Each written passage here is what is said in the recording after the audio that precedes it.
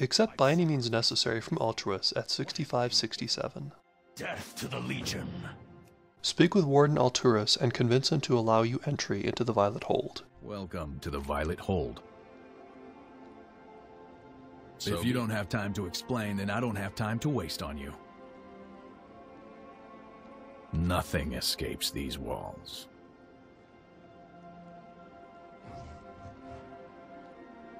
Good. Fair enough. Let's get this over with then.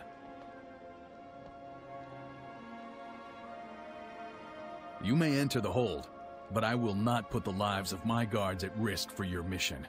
Is that clear? Of course. Enter the Violet Hold and follow the Warden to a cell on the upper level.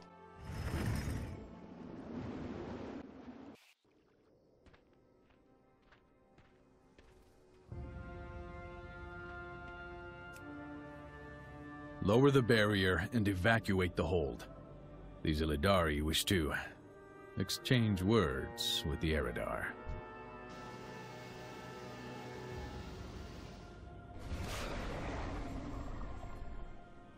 Follow me. I shall open the cell for you.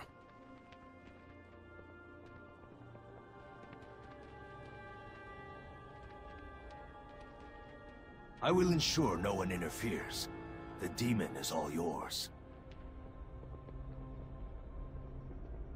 You would stand before me after so many of your kin have fallen? Release me now, and I may yet spare you. Meet Taldath, one of the most powerful Eridar we've ever encountered.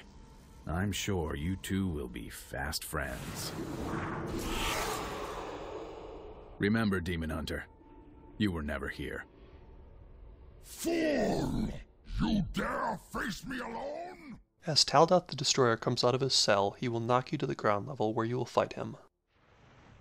Varedis will hunt down every one of your disgusting ilk.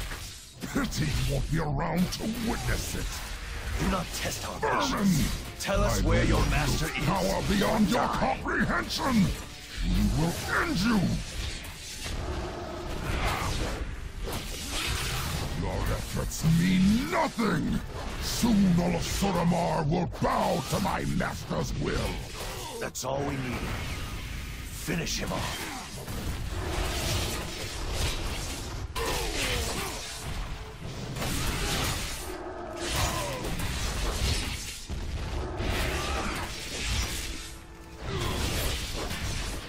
The Twin Blades will be your end.